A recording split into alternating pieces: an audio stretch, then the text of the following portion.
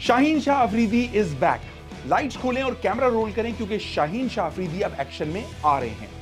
शाह साहब ने अफ़गानिस्तान के खिलाफ प्रैक्टिस मैच में बॉलिंग नहीं की, बल्कि योर्कर्स के बर्स्ट मारे। और ऐसे में अफ़गानिस्तान के बैटर रहमानुल्लाह भाई का पैर तोड़कर उन्हें अस्पताल पहुँचा दिया। अंपायर ने तो एलबीडब्ल्यू का फैसला लम्हों में दे दिया, लेकिन अगर वो आउट ना भी देता, तब भी रहमानुल्लाह का अस्पताल जाना ठहर गया था। स्ट्रेचर का फौरी बंदोबस्त ना होने की वजह से मरीज़ पिड्डी पर सवार करके मैदान से बाहर ले जाया गया। बाद में पाकिस्तानी खिलाड़ी भी रहमानुल्लाह की खैर खबर लेने पहुँचे, लेकिन अस्पताल से स्कैन की रिपोर्ट आने के बाद ही तय होगा कि वो दोबारा शाहीन का सामना करने के काबिल होंगे या नहीं। प्यारे बच्चों, इसका क्या मतलब है?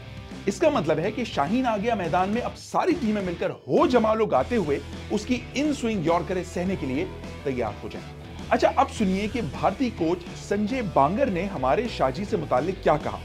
बांदर साहब सॉरी बांगर साहब कहते हैं कि शाहीन अब इतने मुतासर कुन नहीं रहे जितने इंजरी से पहले थे। और उन्हें लगता है कि शाहीन की वापसी इतनी अच्छी नहीं हुई जितनी की भारतीय बॉलर मोहम्मद शामी की थी। बांगर साहब ने शाहीन की बॉलिंग पर अपनी रोशनी मजीद तेज करते हुए कहा कि इंग्लैंड के खिलाफ आपके बॉलर्स ने एक भी गेम सिंगल इनकमिंग डिलीवरी नहीं करवाई। और हर गेम बैटर से दूर गिरी, जिसका मतलब यह है कि वो क्रीज पर अपनी पोजीशन के हवाले से पुरहतमाद नहीं है।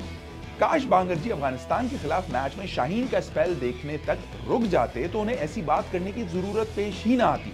क्योंकि जो यॉर्कर्स अफगानियों को सहने पड़े, वो इतवार को भारतीय बैटर्स ने भी सहने शाहजी शाहीन आफरीदी को इस वक्त जहाँ से जो मिल रहा है, वो ले रहे हैं। कुछ थोड़ा बहुत ज्ञान हासिल करने के लिए वो पहुँचे ब्रेस्बिन के उसी मैदान में, जहाँ भारतीय टीम ऑस्ट्रेलिया को हराकर बाहर निकल रही थी और वहाँ उन्होंने पकड़ा मोहम्मद शामी को।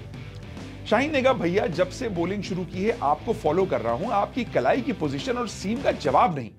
शामी ने जवाब दिया, छोटे भाई, अगर रिलीज़ पॉइंट अच्छा हो तो सीम भी ठीक हो जाएगी। ये दोनों पेसर्स इंजरीज से सेहतयाब होने के बाद वापस आए हैं।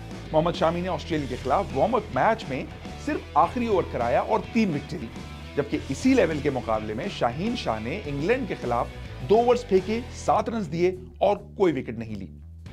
तो क्या यह शामी का दिया हुआ ज्ञान था जो अफ़गानिस्तान के रहमानुल्लाह पर दो गुना लगान बनकर गिरा? खैर, हम इतवार को देखेंगे कि लगान किसने देना है और किसने लेना है।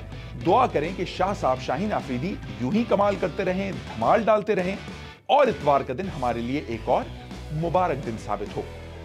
टी ट्वेंटी वर्ल्ड कप को लेकर रफ्तार की लगातार अपडेट्स और खसूसी शोज़ का इंतज़ार कीजिएगा। हम आपके लिए बहुत कुछ नया और ऐसा क्रिकेट कंटेंट लेकर आ रहे हैं, जिसे आप बहुत इंजॉय करेंगे।